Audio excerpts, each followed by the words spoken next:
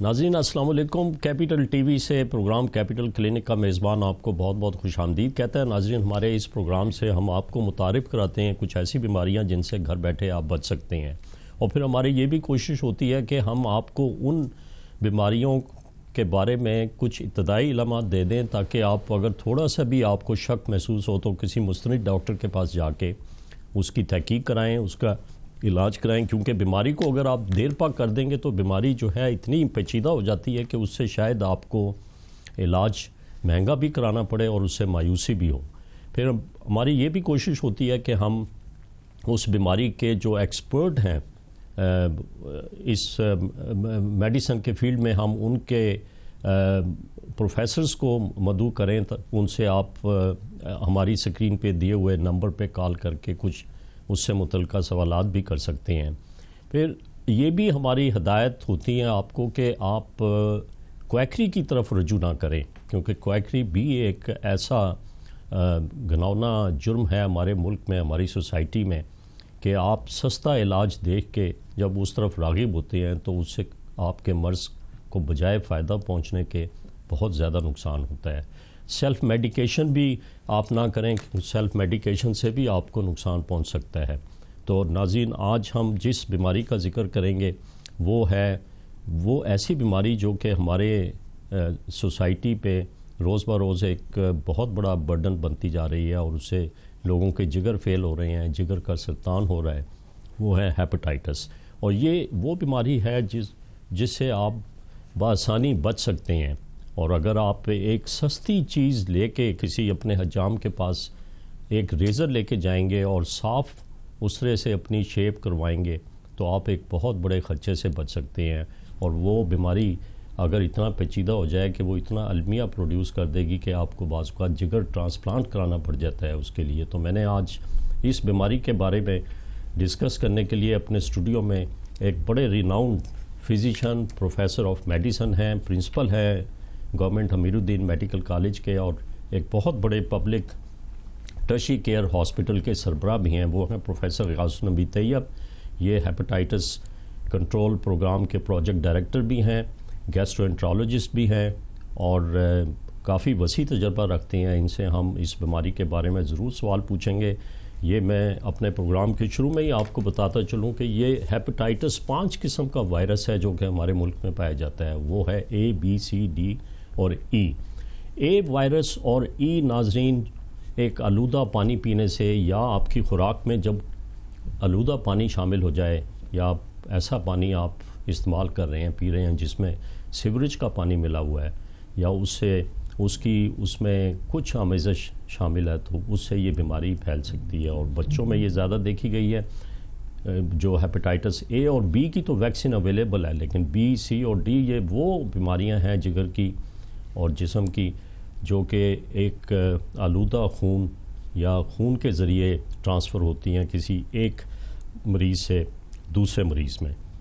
پھر ہمارے ملک میں جو اسپتالوں میں بڑھتا ہوا رش اگر آپ دیکھیں اور وہاں کا جو ویسٹ ہے، اس کو اگر تلف کرنے کا کوئی خاطر خواہ انتظام نہ ہو، تو وہ بھی ایک بہت بڑی وجہ بنتا ہے ہمارے ہیلتھ کیئر پرووائڈرز ہمارے نوجوان ڈاکٹرز نرسز اور پیرامیڈکس اسپتالوں میں وہ ایک ہائی رسک گروپ ہے جس میں کہ یہ بیماری پھیل سکتی ہے۔ اسی لیے ہمارے نوجوان ڈاکٹرز شور مچاتے ہیں کہ ہمیں رسک الاؤنس دیا جائے۔ وہ جب دیکھتے ہیں ایمرجنسی میں، ان کے لیے گلفز بھی نہیں مہیا ہوتے کہ جو وہ پہن کے ایک ایسے مضروب کو جو کہ اسپتال میں ایمرجنسی کی حالت میں آیا اور جس کے جسم سے خون بہ رہا ہے اور اس کو گلفز پہن کے اس کا ایگزامینیشن کریں۔ یہ بہت بڑی پروٹیکشن ہوگی۔ اگر آپ ان چیزوں کی احتیاط کریں، میں پروفیسر غاز نبی طیب صاحب، آپ کا بہت بہت شکریہ۔ یہ ہیپاٹائٹس بی اور سی یہ ایسے مولک مرض بنتے جا رہے ہیں کہ اس سے جگر لوگوں کے فیل ہو رہی ہیں۔ اور اس کو کس جگہ ہم اس کے بیریئر اس کو کر سکتے ہیں، بیماری کو روک سکتے ہیں کہ یا نہ ہو؟ صاحب، پہلے تو آپ کا بہت شکریہ۔ السلام علیکم ناظرین، السلام علیکم کیپٹل ٹی وی۔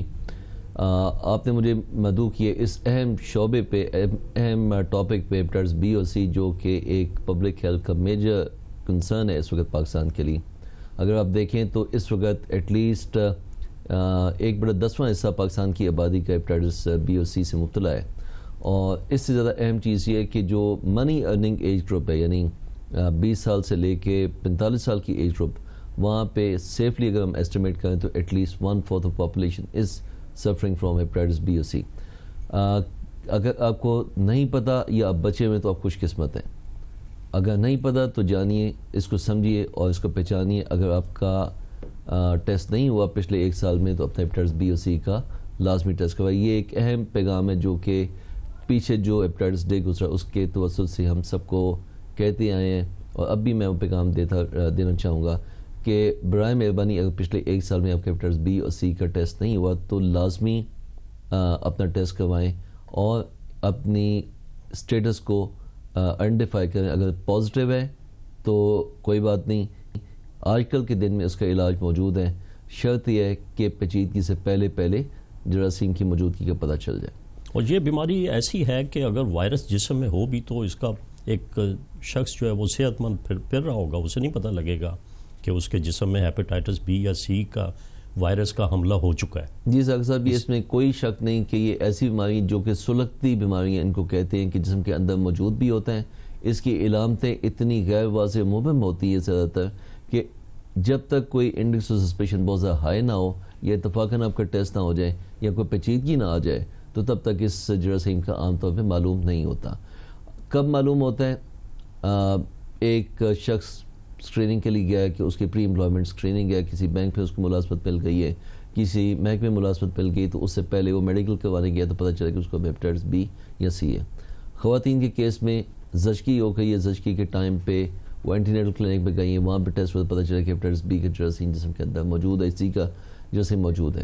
یا پہلی دفعہ ہی خون کی الٹی پیٹ میں پانی، یہ جگہ کا سرطان، یہ دماغ معاف ہونے کی کیفیت کے ساتھ وہ اسپتال میں لینڈ کیے کیونکہ پیچیدگی آ گئی۔ تو یہ عام طور پہ موٹی موٹی پریزنٹیشن ہے جس کے ساتھ پیشنٹ جن کو ایپٹرز بی ایس سی ہوتے ہیں وہ سامنے آتے ہیں۔ عالمی ادارہ صحت نے یہ پاکستان میں ایسی گائیڈ لائن دے دی تھیں جس سے کہ ہم ہیپیٹائٹس بی اور سی کو کنٹرول کر سکتے ہیں۔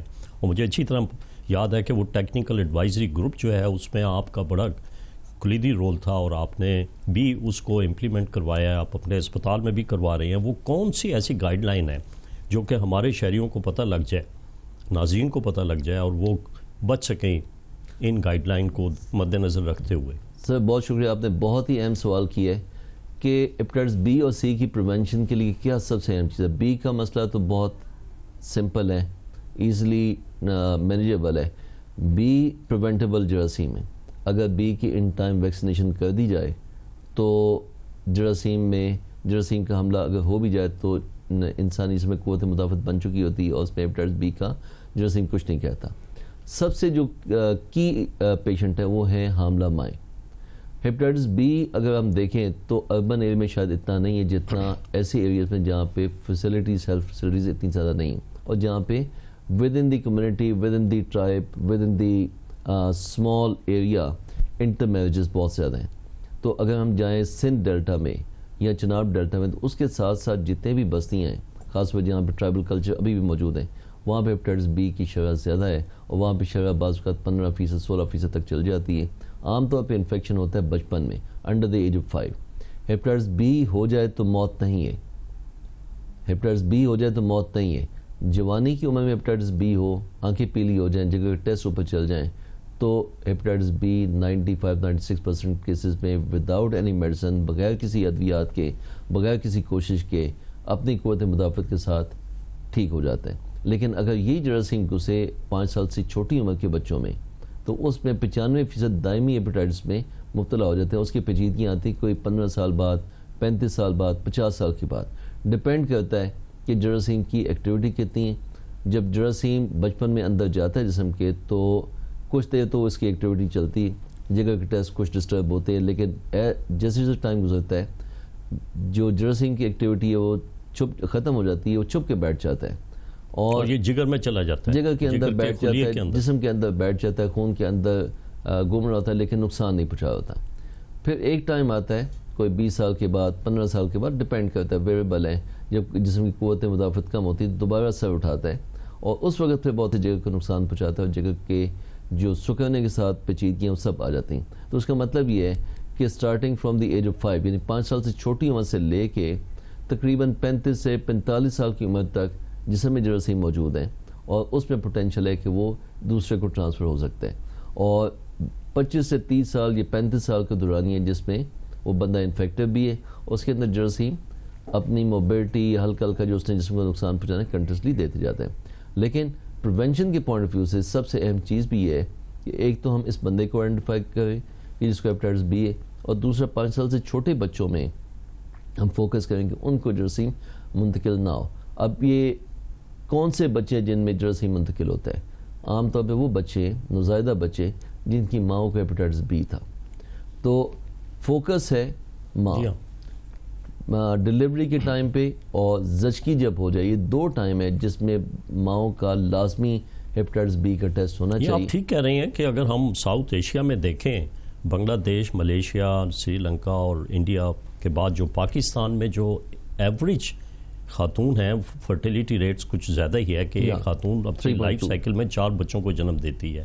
اور یہ آپ نے بالکل صحیح بتایا کہ ان کو پہلے ہی سکریننگ کرا لینی چاہیے کہ ان کے جسم میں ہیپیٹائٹس بی یا سی کا وائرس تو نہیں موجود۔ اگر ہیپیٹائٹس بی کا ہے تو وہ اس کی علاج کرائیں۔ اس میں سب سے امپورٹنٹ چیز یہ ہے کہ جو کہ میں عوام کو پیغام دینا چاہتا ہوں اور ٹیک کے پلیٹ فارم پہ پنجاب ہیلتھ کے پلیٹ فارم پہ جو سب سے اہم چیز اچیو ہوئی ہے پچھلے دنوں میں وہ ہے برتھ ڈوز ویکسین ماں کو ہیپیٹائٹس بی ہے، ماں کو ہم نے دیکھ لیا کہ اس کی بیماری کا سٹیٹس کیا ہے۔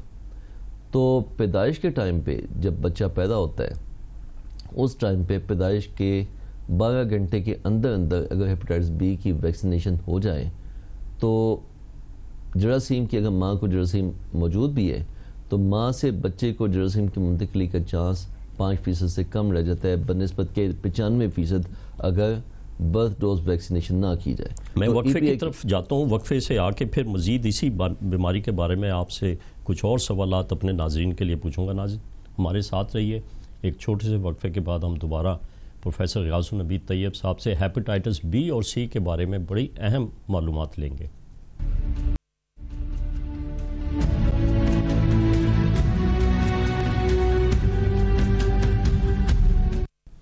ناظرین، پروگرام میں آپ کو دوبارہ خوش آمدید کہتا ہوں۔ ہم وقفے سے پہلے قوم ملک سلطنت کے لیے کچھ اہم معلومات پروفیسر قاسم نبی طیب صاحب سے ہیپیٹائٹس بی اور سی کے بارے میں لے رہے تھے۔ ان کی بہت اچھی ریکمنڈیشن تھی کہ ہمارے ہر شہری کو اپنے خون کی سکریننگ کرانی چاہیے کہ ان کے جسم میں یا ان کے خون میں ہیپیٹائٹس بی اور سی کا وائرس تو نہیں ہے۔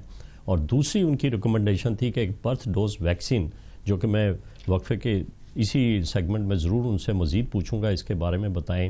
لیکن اس سے پہلے کہ ہم اپنے پروگرام کو جاری رکھیں، ہمارے رپورٹر اس وقت لاہور کے ایک بہت مصروف ترین اور ٹرشی کیئر بیزی اسپتال میں پہنچے ہوئے ہیں۔ وہاں پہ وہ ایک ایسے مریض کا انٹرویو لیتے ہیں جو ہیپیٹائٹس سی اور بی کی بیماری کا شکار ہے اور اپنی آپ بیتی آپ کو بتائے گا کہ کس طریقے سے اس پہ بیماری کا حملہ ہوا اور کس طرح اس کی بیماری پیچیدہ ہوئی۔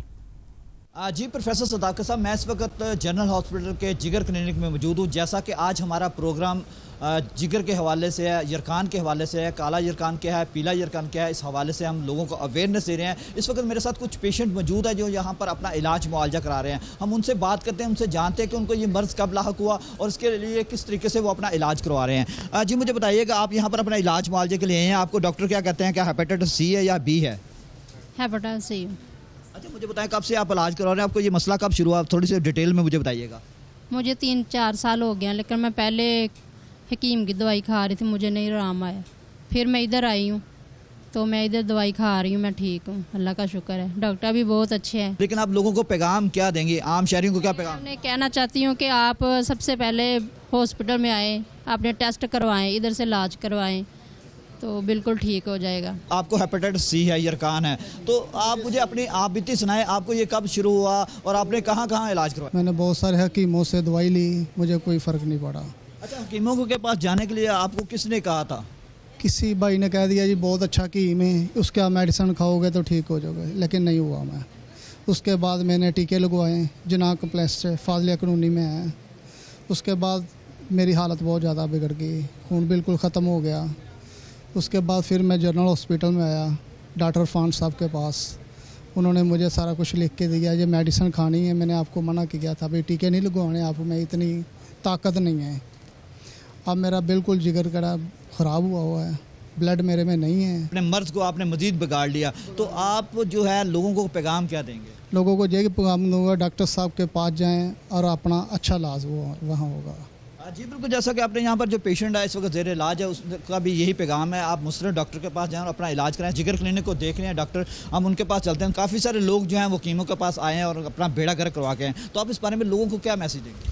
پہلی بات تو یہ ہے کہ یہ جو نمبر ہے، یہ بتدریج کم ہوتا چلا جا رہا ہے۔ اب یہ گورنمنٹ کے ان سٹیپس کی وجہ سے کہ وہ کوریئر کر کے ان کو ڈو سٹیپ پہ دوائیاں بھجوا رہے ہیں۔ مزید سے مزید ہیپاٹائٹس کلینکس کا قیام کر رہے ہیں، جہاں بڑے سے بڑے ہاسپٹلس میں بھی اور چھوٹے چھوٹے ہاسپٹل میں بھی یہ سہولت موجود ہے۔ تو آپ کے پاس جو کیسز آ رہے ہیں، تو اس میں زیادہ تر سی آئی ڈی پیشنٹس آ رہے ہیں یا جو ابتدائی سٹیج میں لوگ آ رہے ہیں؟ جب سے پچھلے دو سالوں میں جو یہ ٹرینڈ کافی بدل گیا ہے شروع کے لوگ جو ہیں وہ جگر کی بیماریوں اور پیچیدگیوں کے ساتھ آتے تھے لیکن اب ان میں بتدریج کمی آنا شروع ہوئی ہے۔ سر میں آپ کے پاس دوبارہ پھر آتا ہوں میرے پاس ایک اور پیشنٹ ہے ان سے بات کریں۔ اچھا مجھے بتائیے گا آپ کا کیا مسئلہ ہے کہ آپ ہیپیٹائٹس کے مرض میں مبتلا ہیں؟ آپ کیا پیغام دینا چاہیں گے؟ میں ہیپاٹاپ سی مجھے ہوئی سی تو میں نا رپورٹاں کرائیاں اپنیاں۔ ਤੇ ਉਸ ਤੋਂ ਬਾਅਦ ਮੈਨੂੰ ਕਿਸੇ ਨੇ ਕਿਹਾ ਵੀ ਹਕੀਮ ਦੀ ਦਵਾਈ ਮੈਂ ਖਾਂਦਾ ਰਿਹਾ ਤੇ ਰਮਾਨ ਨਾ ਆਇਆ। ਫਿਰ ਮੈਨੂੰ ਇੱਕ ਨੇ ਦਮ ਦਾ ਕਹਿ ਦਿੱਤਾ। ਉਸ ਤੋਂ ਬਾਅਦ ਫਿਰ ਮੈਂ ਇੱਥੇ ਆਇਆ। ਇਹਨਾਂ ਨੇ ਮੈਨੂੰ ਰਿਪੋਰਟ ਲੈ ਕੇ ਦਿੱਤੀ ਹੈ ਲਹਿਦਾ ਦੂਸਰੀ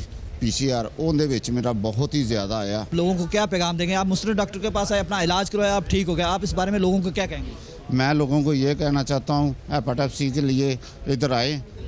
گولی لیں دوائی گولیاں جو دیتے ہیں کورس کے لیے وہ کریں تو آپ کا کورس جڑا ہوگا مکمل ہو گیا تو آپ کی جڑی ایپاٹاپسی ہے وہ سب ختم ہو جائے گی۔ ہم دوبارہ ڈاکٹر صاحب کے پاس چلتے ہیں۔ ڈاکٹر صاحب جیسا کہ آپ نے اس پیشنٹ کی بات سنی اس کو تھوڑی سی عقل آئی سمجھ آئی اور یہ دوبارہ ہاسپٹل آیا اور اب یہ ٹھیک ہے۔ تو اس بارے میں آپ کیا پیغام دیں گے؟ لوگوں کو بھی انکریجمنٹ دینا چاہتا ہوں اور ان کو حوصلہ اور تسلی دینا چاہتا ہوں کہ وہ اپنے ذہنوں کو بدلیں اور اپنی جگر کی حفاظت کریں اپنی صحت کی حفاظت کریں تاکہ وہ ایک صحت مند معاشرے کا صحت مند حصہ بن سکیں اور ہمیشہ اپنا علاج کسی مستند ڈاکٹر سے ہی کروائیں۔ جی بالکل، جیسا کہ آپ نے یہاں پر مریضوں کی بات سنی اور جو یہاں پر جگر کلینک میں ڈاکٹر جو ہے مریضوں کا علاج معالجہ کر رہے ہیں، ان کا بھی آپ نے پیغام سنا۔ سب کا یہی کہنا ہے کہ اگر کوئی اس طرح کا مرض لاحق ہوتا ہے، چاہے وہ ہیپیٹائٹس بی ہے، سی ہے یا کوئی اور بھی مرض ہے، تو فوری طور پر مسلم ڈاکٹر کے پاس ہیں۔ پورے پنجاب میں سرکاری ہسپتال ہیں، وہاں پر ہر طرح کی سہولت میسر ہے۔ بلکہ حکومت کی جانب سے خصوصی طور پر اب گھروں میں سپلائی جو ہے، دوائیوں کی، ادویات کی سپلائی جو ہے، ہیپیٹائٹس سی کی، وہ بھی شروع ہو گئی ہے۔ تو اس لیے اپنی جان بچانے کے لیے، اپنی قیمتی جان کو محفوظ کرنے کے لیے مسلم ڈاکٹر کے پاس آئیں اور اپنا علاج کروائیں۔ جی۔ شکریہ عامر۔ ناظرین، ایک تو پاورٹی اور دوسرے اگنورنس اور لیک آف اویئرنیس جو ہے، یہ ہماری قوم کو، ہماری قوم ملک سلطنت کو اس دروازے تک پہنچا دیتی ہیں جہاں پہ کہ واپس آنا بڑا مشکل ہوتا ہے اور بیماری پیچیدہ ہو جاتی ہے۔ پنجاب ہیلتھ کیئر کمیشن بڑی کوشش کر رہی ہے کہ کچھ سب سٹینڈرڈ کلینکس اور ایسی اسپتال ان کو سیل کر دیا جائے، بند کر دیا جائے، ان کے خلاف ہیوی جرمانہ بھی کیا جائے جو کہ وہ گائیڈ لائن کو فالو نہیں کرتے جن سے کہ آپ کا علاج محفوظ اور سیف طریقے سے کیا جائے۔ پروفیسر صاحب سے میں دوبارہ آپ کی طرف آتا ہوں۔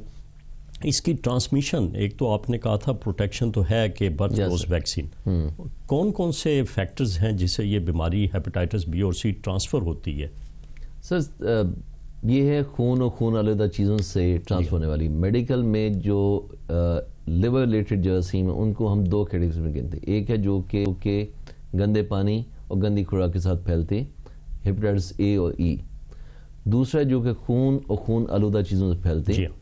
جیسے کہ ہیپٹائٹس بی سی اور ڈی اب ہیپٹائٹس بی اور سی آ, اس لحاظ سے پبلک ہیلتھ کے لیے امپورٹنٹ ہے کہ یہ دائمی ارکان میں کنورٹ ہوتے ہیں۔ اے اور ای دائمی ارکان میں کنورٹ نہیں ہوتے۔ ٹھیک ہے۔ تو بی اور سی کو بچنے کے لیے